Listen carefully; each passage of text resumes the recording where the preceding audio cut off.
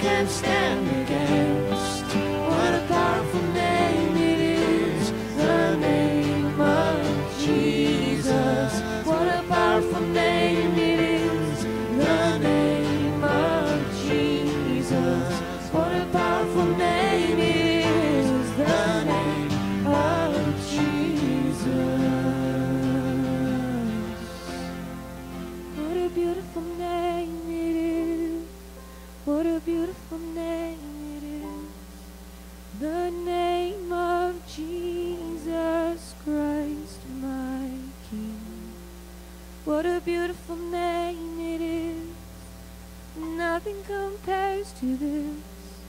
What a beautiful name it is, the name of Jesus. What a beautiful name it is, the name of Jesus.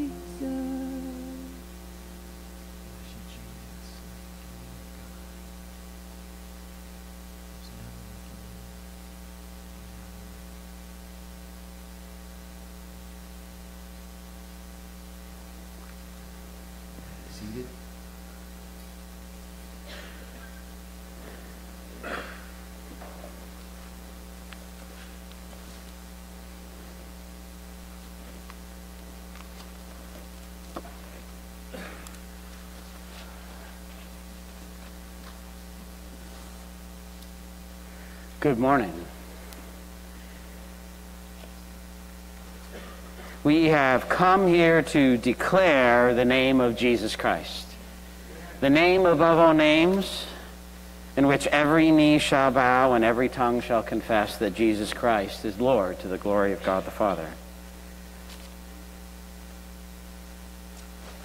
I actually wanted to read from the bulletin. Um, uh, every Sunday, we, I don't know if you've noticed, the, the opening of the bulletin, there's a little thing that says the passage, says, hey, that's me.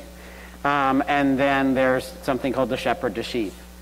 And as much as I spend the time prayerfully considering the Word of God, I also pray, pray over what that passage and that part of the message. It's part of the message. And I wanted to read that um, because it leads right into what we're doing today. It says, Beloved.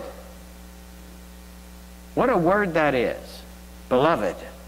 It is beyond care and compassion, even beyond just love. It is the intimate relationship we share with one another concerning our union with God, our Father, and the Creator of the universe. God so loved the world, but He has called us to respond to His love to become Christians. And then it says, Love Pastor Ken. Yeah, that, that part too. That's good. Um, we are going to spend a little bit of time reviewing some things in the book of Revelation. Um, and then you'll, it says in here the passage is Ruth 2. That we're going to end with that part. So we'll be ending in Ruth. But we're going to start out in Revelation chapter 1. Revelation is the last book in the New Testament. Um, and we have been spending a little bit of time here on Sundays going through the book of Revelation. Um, frequently, I take notes. Um, I do actually use that part of the bulletin where there's notes on the back page. And um, whenever I find something that just kind of inspires me or reminded of something, um, I write those things down on the notes.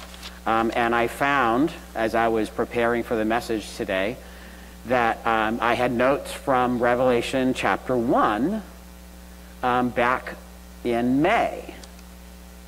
May 6th was when Pastor started the first chapter in the book of Revelation.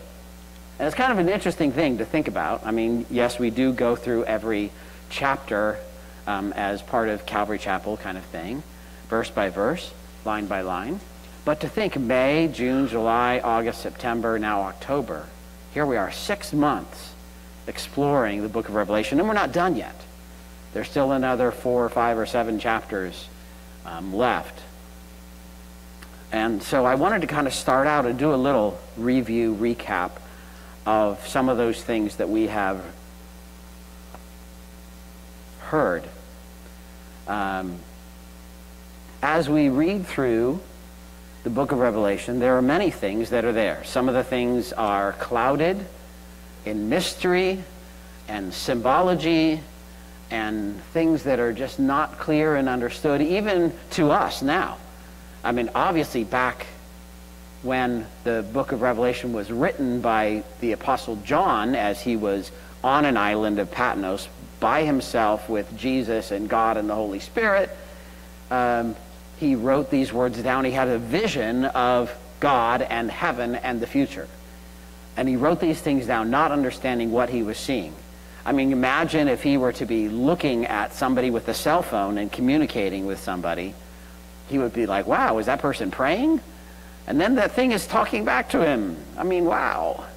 You know, and just just kind of imagining the things that we see are normal today voices and people on a big box talking at us um, in television and movies and, and all the other things of technology and how knowledge has increased as the Bible prophesied. And many times I've read through the book of Revelation. Many times I have been in teachings where I've heard the book of Revelation taught to me. And yet each time as I come to the Word, there's always seems like something new that, that God, through the Holy Spirit, has chosen to remind me and teach me.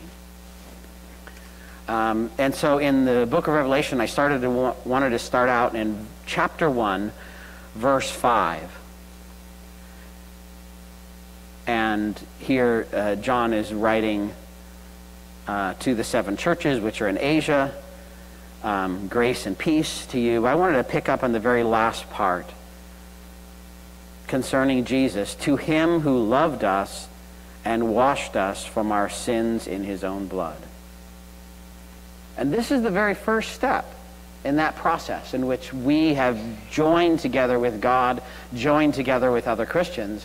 The first step is that Jesus loved us and washed us from our sins in his own blood. Uh, because we are sinful and no man or woman can come to God with sin because God is a perfect and pure God. There is no way that we can even approach God. If you look at the Old Testament, you saw Moses. He even did not really see God so much. God said, Turn your face into the rock, into the crevice of the rock, and I will pass by behind you. And maybe and you'll see a little bit of that glory. Um, and yet, even with that little bit of glory, Moses' face shined brighter than a light bulb because of the presence of God just being that near to him. And there were times in the Old Testament where the glory of God, the presence of God was so strong that the people just ultimately fell to the ground, their face to the ground, because they could not even consider looking upon God or being face to face with Him. And yet, because of Jesus Christ, because of Him washing our sins, He has created us anew and made us white and pure and fresh and clean so that we can approach Him, so that we can have a life with Him. And this is that first step that Jesus did this task in loving us, and through His love, He washed us. I actually was planning, and, and I forgot until yesterday, I was going to do this little trick, this little gimmick. Um, recently, um, my wife and I had gotten this box of some treats for our dogs. And included in there was one of these little red plastic things. And you remember little uh, decoder rings and decoder things, and they'd always have these little red little plastic thing that you'd look on, and you'd look through that red, and then whatever was hidden on the page, you would see it as clear as day. And I thought of that when I was thinking of this verse because as red and stained we are with sin, because he washed us with his blood, which kind of like doesn't make any sense. You wash something with blood, you're going to get it blood, bloody, right? But instead, that blood washed over, and so the red of the blood became a filter to which he did not see the red of our stain. Just like those little decoder things, and that's how they work. And I was going to do a little, try a demonstration, but I forgot. So hopefully you can kind of imagine that, um, or you could go and try it at home. Um, and, and so there's, it's an amazing thing that to wash something in blood and then have it be, come out pure and white. Um, I, another little trick, and I'm just going to share this with you for you mothers or parents um, or even teachers. Um, I have made the mistake, and uh, we, we have these whiteboards in our school where I write on, and they have special magic markers, whiteboard markers, so when you write on them, they're, you can erase it. Well, a few times, I and others have written on there with an actual permanent marker, like a Sharpie by accident. And it's like you try washing it, you try doing whatever, and you cannot get that. It's kind of like that stain upon us. But if you take a whiteboard marker and write on top of where the magic, where the permanent marker is written, the chemicals in that dry erase marker will break down the chemicals in the permanent marker so that it becomes erasable. So if you didn't know that, that is a trick that works. So if you have something written on with Sharpie, you can take a white a dry erase marker and write right over it. And it'll then make it so that it can be erased. And that's kind of that same process that God has done with us. That there's some characteristic in the blood of Jesus that causes the stain of our blood to be wiped clean. So that's this is just kind of you know the first verse that I found that I wanted to talk about. Um, and so we've got this process that we had to have been washed before we can come to God. Uh, once we've been accepted into God's family, we are then declared to be overcomers by his blood. And so in chapter 2, we see the, the passage then as John is writing to the seven churches. And it talks here about overcomers. And you find all the way through chapter 2 and chapter 3 several times, actually like seven times, um, where it talks about overcomers. Now, the book of Revelation, at least in this part especially, is written to the seven churches. Now, the seven churches is symbolic of several different things. One, it's symbolic of the future churches um, that were yet to come from John's perspective as far as looking into the future. Some people look at that as symbolic of seven church ages in which the first church is related to the Jewish Christian church, where the seventh church is relating to the church that's current at the time of the book of Revelation when the whole wrath of God, the tribulation, and all of those things start. In other words, the seven churches relate to seven different types of churches that are active at that time as well as today you can go into other churches, and I remember doing that before I came to Calvary Chapel, going and visiting other churches, trying to figure out which church I should be a part of, and seeing these seven different parts of those churches that are active in the world today. Um, and some of those do contain actual Christians in those churches, as far as the buildings and the the denominations or the non-denominational or the whatevers that are out there. Um, so these things that are written here can be construed to be applied to you as well as just the people in that church and the people in the seven churches throughout time or whatever. It's written to the church. And so the thing about this is because of the blood that has washed us and entered us into this process of being part of the family of God, we are overcomers. And so we can see these overcoming statements as declaring to us. And again, it's part of this process that God is declaring to us what it means to be an overcomer in Christ. And so the first one is in Revelation 2, verse 7. And, and I, I think this is interesting. The very first part of this verse kind of alludes to what I'm telling you right now. It says, For he who has an ear to hear, let him hear what the Spirit says to the churches. So if you have a spiritual ear, listen to what the, the Spirit of God is telling these churches because he's telling it to you too. It's kind of my interpretation of that. To him who overcomes, I will give to eat from the tree of life, which is in the midst of the paradise of God. As overcomers, we have an inheritance with the Son of God. We read about that in many places in the New Testament, in the book of Romans in particular, talks about how that we have been adopted as sons of God and heirs of the kingdom of God. And so, like Jesus, we have an inheritance that is given to us for eternity to be with Jesus, to be with the Father in paradise, partaking of that tree of life and the eternal life with Him. That's part of what we would call hope. When the Bible talks about the hope that is set before us, that's that hope of eternal life, that we have something beyond what we currently think of life now.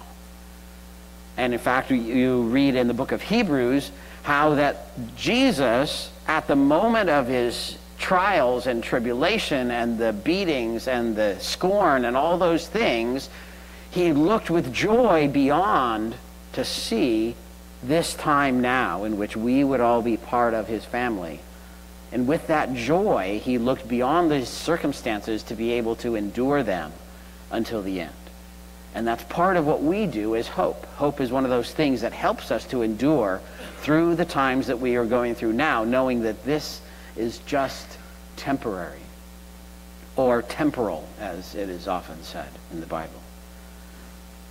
The next one we find is also in chapter 2, verse 11. And again, it starts out with He who has an ear, let him hear. So he who overcomes shall not be hurt by the second death. Now, as Christians, we read in Romans chapter 6 that when Jesus died on the cross, that we as Christians died with him. That we've already died. And in fact, the baptism that we, the sacrament of baptism that we go through the process of going under the water and coming out of the water, is symbolic of that relationship that we have. That we join ourselves with Christ, and as he died, go under the water, then we died with him. But that's not the end. As he rose from the dead, as he came out of the water, then we also have already risen from the dead. And we have risen to a new life like Jesus Christ rose from the dead into a glorious body in which he was able to ascend to heaven, in which he was able to perhaps walk through walls or locked doors and do many amazing things. That is part of who we are now as Christians. That we have already died and we're raised from that death to live a new life as Christians. That God has given us a new life that we walk in now. And again, there's that hope that we know that even this life that we live as Christians is not complete. It's something that we're working towards, that God is working in us until the day of his appearing. Until that day, we're continually moving forward, moving to be closer, to be more and more like Jesus. And so this second death that is mentions here is actually found in the back of the Revelation in the Revelation chapter 20. I'm going to read there. If you don't want to flip it, that's fine. Um, talks about the uh, second resurrection, the great white throne judgment. Um, and the dead are brought before God, and they open this book, the book of life, and the dead were then judged. But they were judged by their works, but the last thing is they look to see was their name written in the book of life. That's the last thing. Did they do some good things? Yeah, they did five good things. They did 300 bad things. Or maybe it's the other way around. I don't know. But ultimately, they were judged by those things, and then they said, okay, the last thing is if your name's written in the book of life, you are good. If your name's not written in the book of life, forget it. And so in verse 14 um, of Revelation 20, it says, After all those things that were judged, death and Hades were cast into the lake of fire. This is the second death. Anyone who was not found written in the book of life was cast into the lake of fire. That's the second death.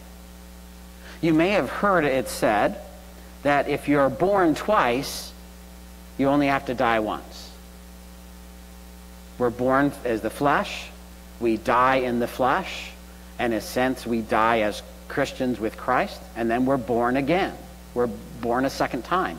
We do not go through this second death. That is for the unbelievers, for the unsaved people, because their names are not written in the book of life. Our names are written in the book of life. So we are not hurt by that second death. And that's what this passage in Revelation 2 is alluding to. That's part of our process of overcoming. We're washed, we're cleansed, we're set to be a part of God. We look to this hope that we have this eternal life eating from the tree of life in paradise, and we're not even going to be hurt by this second death that's going to approach the rest of the world. And so let's go on uh, a couple more verses down in chapter 2, verse 17. It says, To him who overcomes, I will give some of the hidden manna to eat and I will give him a white stone, and on the stone a new name written, which no one knows except him who receives it. So, manna. There's two parts here. Manna, if you're familiar with the Old Testament, as the children of Israel were delivered from Egypt, they wandered through the wilderness, and um, I don't know if they brought their bow and arrow with them. Um, I know they came out with food and stuff, but pretty soon all of that stopped being available. You know, they, they ran out. And they complained to Moses. They said, Moses, hey, you delivered us. You brought us out of Egypt, and here we are hungry and thirsty. And we're desiring to go back to Egypt, where at least we had leeks and onions. Maybe there wasn't a McDonald's there, but, you know, hey, we had the life. I mean, it was slavery, but we were fed. Um, and so Moses went to God and he said, Hey, they're complaining. And he said, Okay, I will bring you this manna, which was like a, a seed, like a coriander seed that they ground up and made flour and bread from that. And they would get that every day.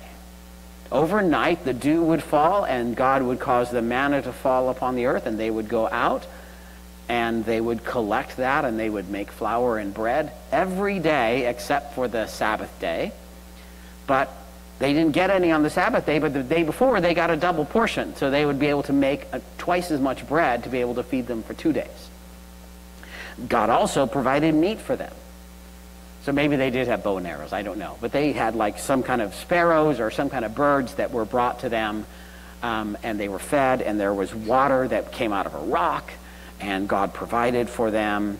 And even their clothes, as they were traveling during that time, did not even wear out. And they were journeyed there for 40 years, in part because of their sin. Because they would not believe God. God tried to get them into the promised land sooner, but they, they complained. And so he said, okay, well, if you're going to complain, if you're going to mumble and grumble, then uh, I'm not going to let you go into the book, the, in the book, into paradise, in the sense of going to Israel to take over Canaan. And so the generation of adults that came out of Egypt all died in the wilderness. And their children that were born to them in the wilderness, those are the ones who actually made it into the promised land, except for Joshua and Caleb. All of the other people that came out of Egypt died during those 40 years. But their clothes didn't wear out, and they were fed, and they had everything provided for them, and yet still some of them were not happy. Still some of them complained and griped and so forth. And so God provided. And then also he promised them a new name a stone, a white stone. Again, white referring to purity and cleansing and a new name that God has given to us. And only you know it. Well, God knows it too.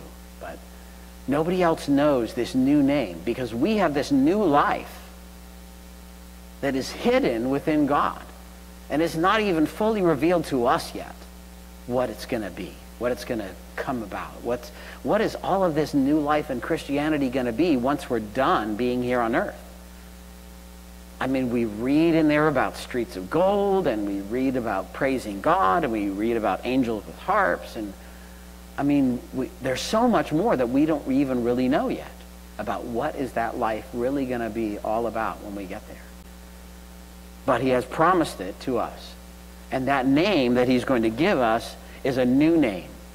So often we find our lives in this world and the name that we're associated with as being something that is stained. And, and it's been, you know, people talk about their rep, their reputation that has been harmed. And so many of us, we realize that the things we have done in our life prior to joining Christ, we've done a lot of things that we're ashamed of. We've done a lot of things that we would not want to tell everybody about all the things that we've done and the sins that we've done. And even some of those things that we find ourselves still trapped in. But God is going to give us a new name, a new reputation in which all of the things are right. And, and one of the things I thought about, we read through some parts in the, in the Old Testament recently, and we see as you read through that there were names that were given to the children of Israel where their names were significant. Um, and they were named sometimes because of the time that they lived in, that they were named after, you know, famine or prosperity or the river that was nearby. Um, we, uh, we find that, you know, in some of those cases, God did also change their name.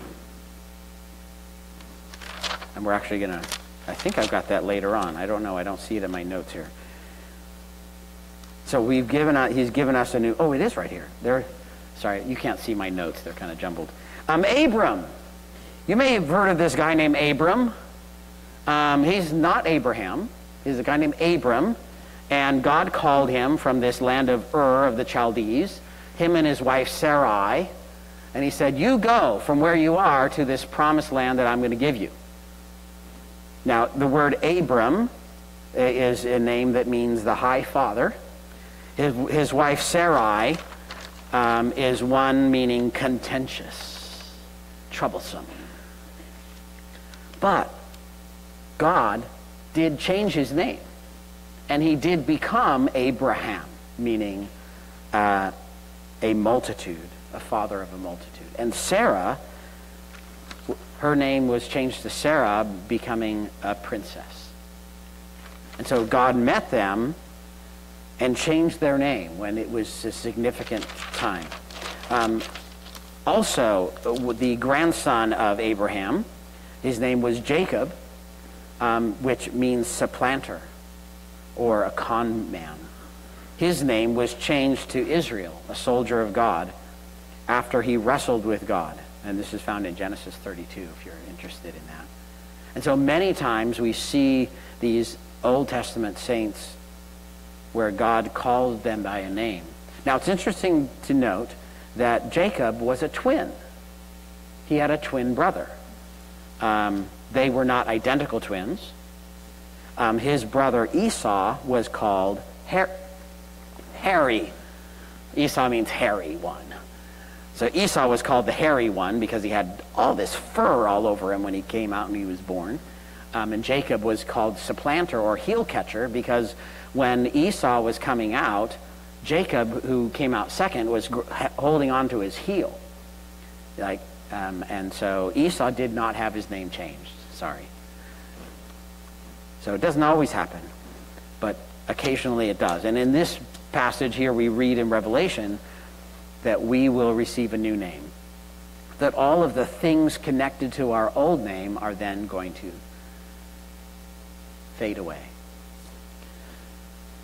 So, uh, continuing back in Revelation 2, the next part here, um, overcomers, is found in verse chapter 2, verse 26. It says, He who overcomes and keeps my works until the end, to him I will give power over the nations. He shall rule them with a rod of iron. They shall be dashed in pieces like the potter's vessels, as also I have received from my Father and I will give him the morning star. So, here, part of what we receive as overcomers, as children of God, as sons of God and daughters of God, is this idea that God has given us power or authority over the nations. Um, this is also found, excuse me, in Revelation chapter 1. It mentions that uh, in verse five, 6, it says, He has made us kings and priests. Kings and priests to God and Father. To him be glory and dominion forever and ever. And so there's this process by which part of what we receive as joining into the family of God is not just that we've been adopted and that we're kind of those second child or stepchild, but that God has not only adopted us, but called us to be his sons and daughters. That he has given us authority, and it says here that, that um, as also I have received from my Father, speaking of Jesus, because these words are Jesus speaking through John. So Jesus received authority from the Father, and we have received that same authority. Uh, I have taught this before, but I want to take a look uh, quickly for another writing of John in the Gospel of John. In chapter 17, uh, Jesus was at the Garden of Gethsemane and he was praying. and it's a long prayer, but there are some significant things that Jesus prays about concerning you.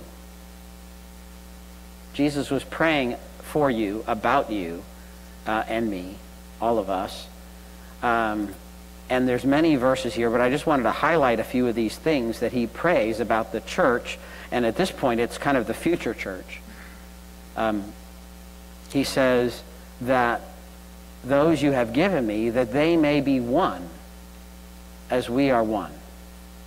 Speaking of unity and uh, coming together, uh, this is found in John 17, verse 11. Um, and jo- verse 14, it says, I have given them your word, and the world has hated them because they are not of the world, just as I am not of the world. Verse 18, as you sent me, so I have also sent to them. Verse 21, that they all may be one as you, Father, are in me, and I in you, that they also may be one in us. Verse 22, and the glory which you gave me, I have given them, that they may be one just as we are one. I in them and you in me, that they may be made perfect or complete in one. And the world may know that you have sent me and have loved them as you've loved me. So it's kind of a deep thing, an interesting thing, that Jesus Christ here is declaring that not only are we those that are saved, brought in as part of the family of God, being Christians, but that there would be a deeper, intimate relationship. That as Jesus was with the Father, he has received this authority, he's received this power, he's received this mission to go out and, and preach and teach and save the lost. That in all these things, that where Jesus, as Son of God, has received these authority and these things from the Father, he says, those things he has also given us. It does not mean that we are little gods. God is in us, yes, but we ourselves are not gods. We are not creators of the universe. We did not pre exist before time, as Jesus did. But in, in most, many other aspects, that we stand with the authority, with the power, with the privilege, with the position as Jesus did when he was on this earth. And in fact, Jesus, when he was saying goodbye to the apostles, the disciples, he said, If I don't go, then I'm not going to be able to send the helper, the Holy Spirit. And he will come and he's going to lead you. He's going to guide you. He's going to teach you. He's going to reveal things to you. But if I don't go, you won't get any of that. As much as you want me here, I have to leave so that he can come and be a part of you. And then at that point, when we receive the Holy Spirit, when we become a Christian, when we are born again, the Holy Spirit is like a seed that has been planted in us and begins to then grow to where it begins to fill us up on the inside so that there's less of me and more of Him. And it's a process until that day on which Jesus Christ is revealed and we arise to be fully transformed and bust out of this shell so that our full spiritual form is revealed. Um, or if we do not live until that day and we die and we're transformed when we are resurrected, that there is this part of God the Holy Spirit that is given to us, that is living in us, that is within us every moment, every second of the day, and every place you go, and every experience you have, God is there. And there's just so much more. I can't even describe all the things, but it's, I think it's just an amazing thing. And part of that here, the second part, it talks about He's giving us the morning star. Now, this passage, this, this idea of this morning star, um, in astronomical terms, um, there are a couple of different morning stars. One of them is referred to as Venus, who is actually a planet we know. But in the morning, very early morning, when you look to the east, you often can see Venus bright as while the sun is rising up before the sun becomes full. You can see Venus. It's like one of those first stars that you can see in the sky. Um, there's a couple of other ones that uh, also, you know, have that same position. Mercury is another one that sometimes you can see, and it looks like a very, very bright star, but it, we know it being a planet. Um, but the Bible talks about in Revelations 22 6 that Jesus himself is the bright and morning star. And so, again, this idea that part of what we're receiving as overcomers is Jesus himself in fact, the Holy Spirit is referred to as the Spirit of Christ. That we receive Him Himself. You know, and, and, I remember even when I was younger, they talk about receiving Jesus into your heart. That He does come, not just into our heart, but of our whole being. That we receive Jesus Himself is this bright morning star expressing that brightness and the newness of the day within us. And again, that's something that we receive, all of us, as overcomers. That we get to have Jesus with us and in us for eternity. And he is on our side, in our corner. And even his very essence inhabits our being as Christians. Paul writes it in this way Christ in you, the hope of glory. In Revelation 2 5, we find it written. Uh, is that? No, that's not Revelation 2 5. Hmm.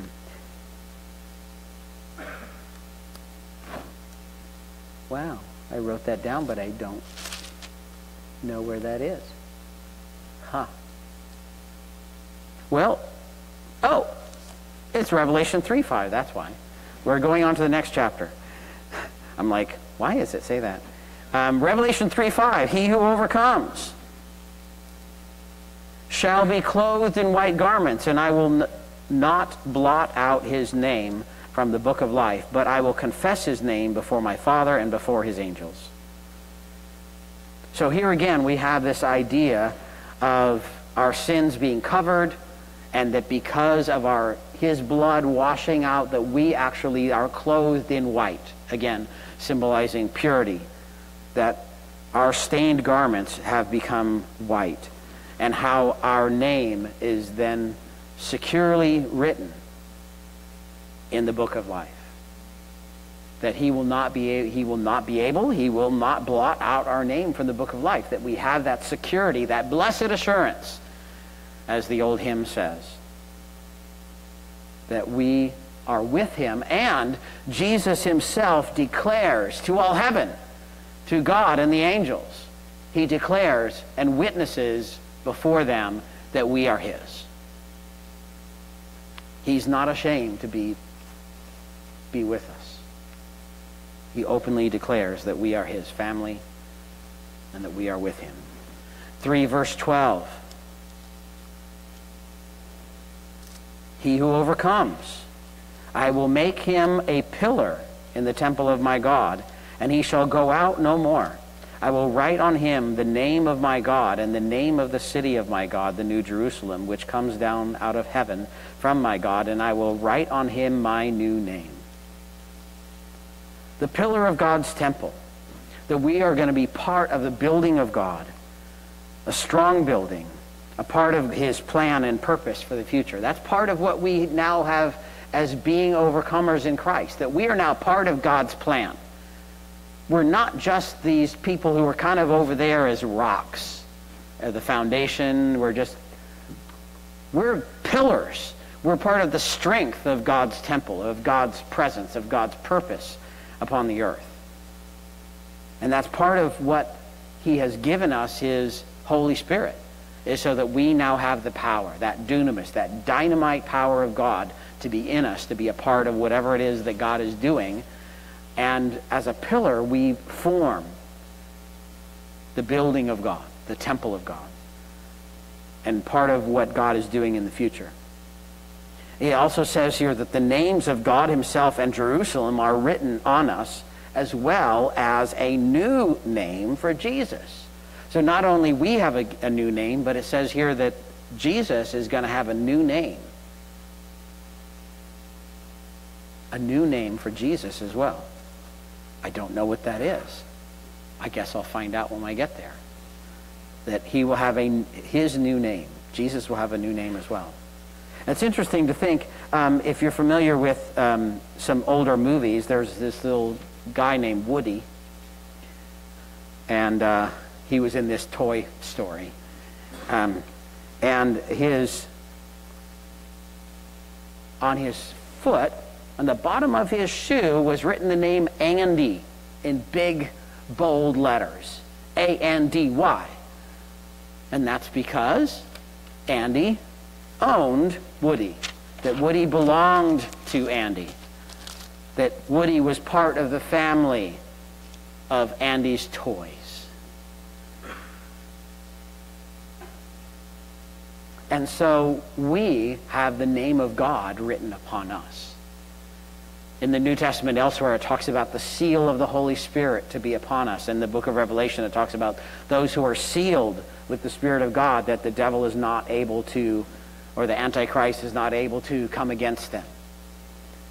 And so we have that name of God written upon us. But not only that, it's interesting, it says about the name of the city of New Jerusalem. And you read that in the, we haven't got that far in the book of Revelation yet, but there's a new city of Jerusalem um, that is coming down from heaven, in which we will then live there in the future. Um, and that's the part where it talks about this new city of Jerusalem has streets of gold. Not all of the earth has streets of gold, but at least this city does. And it's kind of interesting. My, my wife and I recently moved, and we had lots of boxes with lots of stuff in them. And we had the forethought to write things on the outside of the boxes. So we got all these boxes that all look the same, and it's like, okay, what is and what is in each box? And, and my wife even got these little stickers that we were able to put on the boxes that says this box goes to this room or the kitchen or wherever. And things were written on the box so that we open up and like, oh, okay, that, that, that's what it says. And it's not only just saying who it is and who it belongs to, but where, what is the destination? And I think that's kind of neat. That our destiny, our destination is securely written upon us. So if we ever get lost, we'll know that we belong to God and that we're going to this new Jerusalem. Okay, so don't worry. It's written on you somewhere in magic ink. Okay, um, verse 21 in chapter 3 To him who overcomes, I will grant to sit with me on my throne, as I also overcame and sat down with my Father on his throne. And again, I, I this emphasis on, on the likeness of Jesus Christ and how we have become part of the family of God, but so, so much more than that. It says that Jesus here has been given the authority to sit on the throne with his Father. I have no qualms with that whatsoever. That's the other part of that that, that I'm just amazed by, that it says that we sit on the throne with Jesus and his Father. You, me. That we're sitting on the throne of God with Him. And, and I don't know what, what that all is going to look like. But I know it's not a little thing. And I just want to emphasize part of this idea of sitting. Um, I couldn't find it, but I, I'm pretty sure I remember somewhere it says about Jesus standing and praying and interceding for us. I just couldn't find that scripture for whatever when I was looking for it. But part of the idea of sitting is that it is completed, that it is done, it is finished. That when all the things have been working and when all the work is going on, and then finally you get to the point where you get to sit. Because it is done, it is finished, all the work has been completed. And I think that's part of this idea that we have that authority, that we are sitting with God. that we are with him, like I read in, in John 17, that there is this essence of us and Jesus and the Father, that, that we should be one with one another, and that we are one with Jesus in the same way that Jesus is one with the Father. Now, we don't fully understand the whole Trinity thing with the Jesus and the Holy Spirit and the Father, but we know and understand that they are God, that each one of them is separate and yet they are God. And the Bible then declares that we are one with them as Jesus is one with the Father. I don't understand how that works. But I think in part it's because of the Holy Spirit that is attached itself to us. And so we are connected through the Holy Spirit to Jesus in the same way. Because Jesus and the Holy Spirit, the Holy Spirit is God, that He is with you, in you. Um, and I wanted to just quickly read from 1 John. Again, you don't have to turn there, but I wanted to mention this is spoken of another book by John, written in 1 John chapter 3. Be, Beloved, now we are the children of God, and it has not yet been revealed what we shall be. But we know that when he is revealed, we shall be like him, for we shall see him as he is. And everyone who has this hope in him purifies himself just as he is pure. As he is, so are we in this world, it says. As he is. As Jesus is, in authority and the throne and the the arrangement, the, the position that he has with God the Father, so are we in that place. Because of the Holy Spirit in us, we have that position, we have that place. We shall be like him. And this hope is something that purifies us. This hope in us that's part of the eternal life that we are yet to have. That Zoe is the Greek word, speaking of this this new life that we have, the eternal life that is in us, until that day approaches, until that time comes.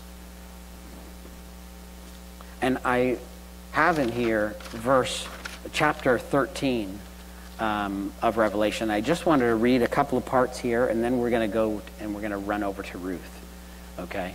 So, Revelation 13, and this is part of what this started for me Revelation 13, verse 10.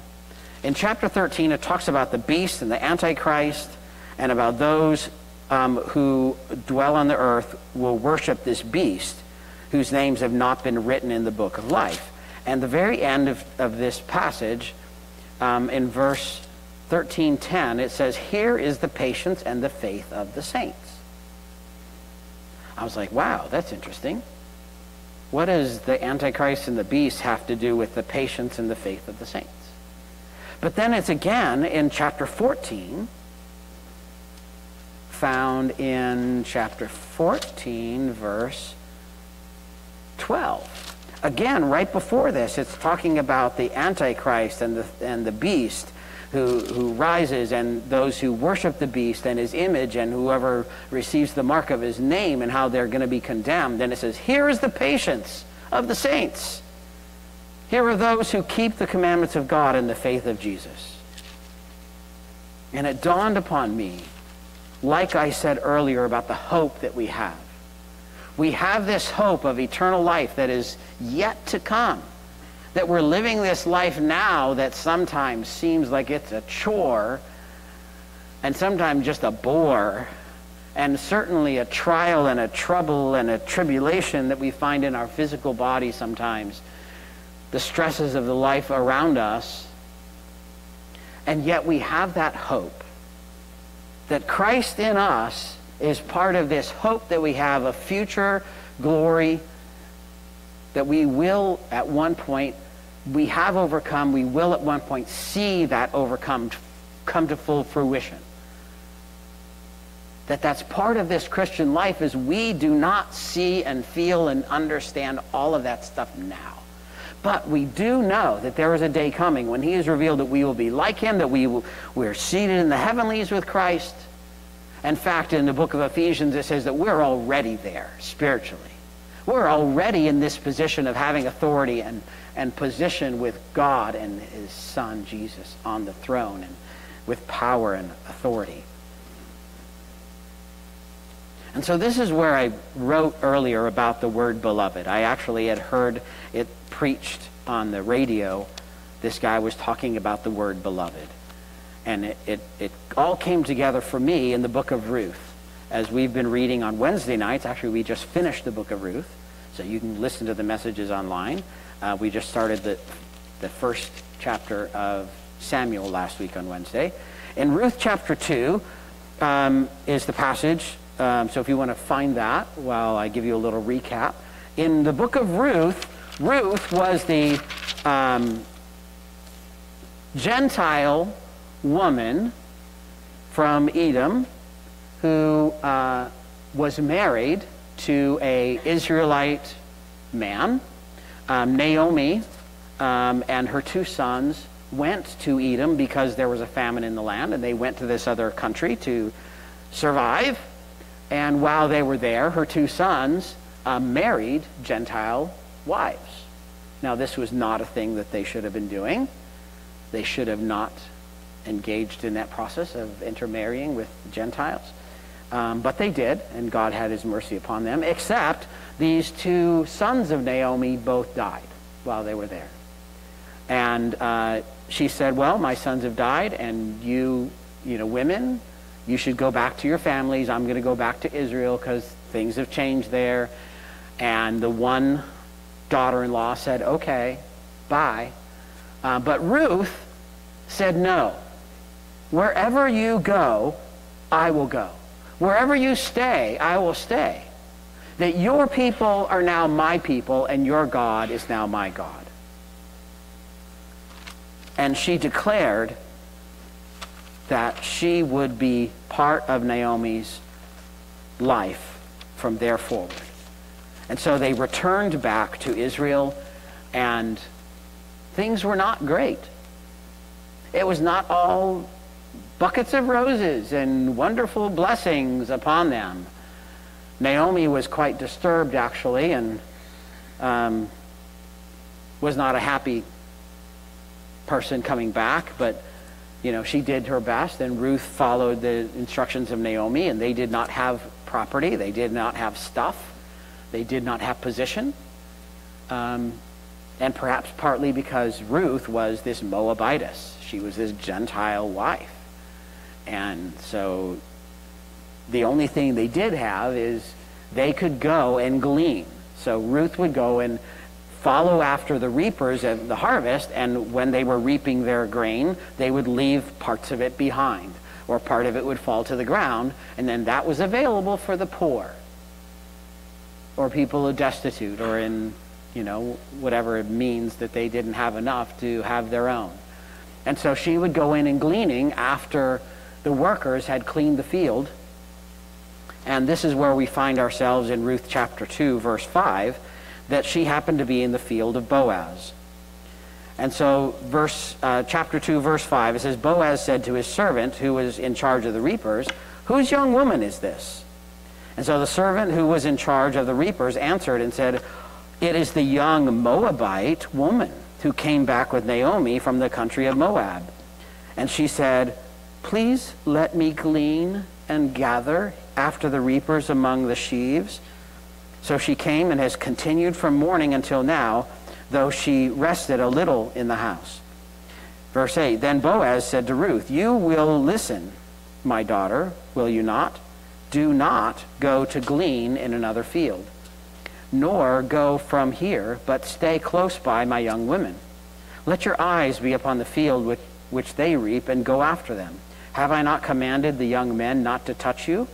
And when you are thirsty, go to the vessels and drink from what the young men have drawn. So she fell on her face, bowed down to the ground, and said to him, Why have I found favor in your eyes that you should take notice of me, since I am a foreigner? And Boaz answered and said to her, It has been fully reported to me all that you have done for your mother in law since the death of your husband and how you have left your father and your mother and the land of your birth and have come to a people whom you did not know before. The Lord repay your work, and a full reward be given you by the Lord God of Israel, under whose wings you have come for refuge. And so we find here this story of Boaz who took Ruth in and, and not only let her reap, but almost made him as one of the servants, made her as one of the servants that she, and in fact, we read later on that he told his servants as they were gleaning to purposefully leave behind stuff and maybe even drop stuff on the ground so that she would be able to get it. We also find that Boaz was a relative, a relative of Naomi, and therefore by marriage a relative of Ruth and he found and understood her position as being this nowhere person. She had no property, she had no rights, she had no position, she had she was found herself kind of in no man's land as being some somebody, you know, as a Gentile and just with nothing. But he recognized his position as one who, as a relative, that he could redeem her that he could declare, and he did declare, that she would then become part of his family and his wife. That he would redeem her from this lost position so that she would then be reclaimed as having position in the family and in the children of Israel. And in fact, we read in Ruth uh, chapter 3 at the very end, Naomi says, For the man will not rest until he has concluded the matter this day. That he was determined to get this done and take care of her so that she would not become abused by other men or, or whatever, that she would not be lost and left alone.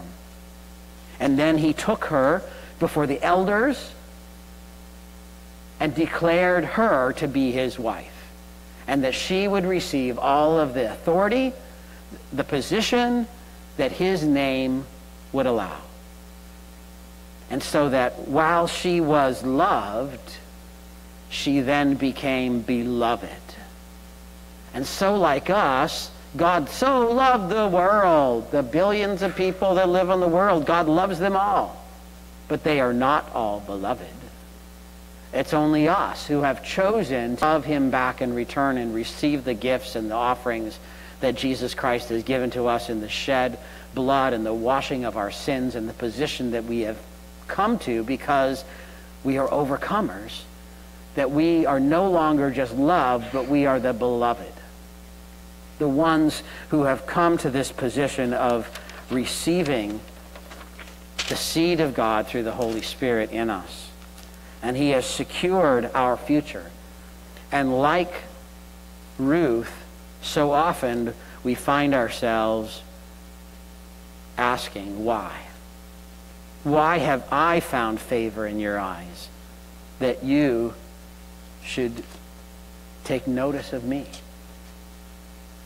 And it's because of the love of God.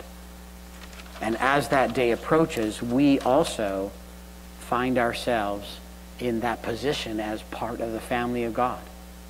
That we have been joined in, we have been grafted in, Paul writes into the family of God, into the tree of the family of God, so that we are now fully part, partakers, partners of the work of God, of the promise of God, of the future of God here on this earth and to the future and beyond. Because of the work of Jesus Christ, not because of anything we've done, not because we've done anything except our heart declaring loyalty and faithfulness to God, and God has done everything else. We have received such a bounty, such a blessing, and it's not having to do any bit from us at all. But He has loved us and has called us to be His beloved and called us to this intimate relationship in which we do have all of these things. And in part, like I said, that seed is growing within us. The Holy Spirit is growing within us until at some point it's going to just burst forth, replacing us with Himself until we see us no more and we are more like Him from glory to glory as that day approaches. Amen. So I, I ask then of you, if you have received Jesus Christ, then take this take this. Take these things and, and the things that God has given as overcomers. You have it. You have all these things. And hold on to those things and, and ignore, maybe not ignore, but uh, let the hope and the patience of God be with you through the trials, through the struggle, through the hardships, through the heartaches, until that day comes when we will see it fully revealed. In the meantime, we just need to hold on and allow God to be with us and in us and through us.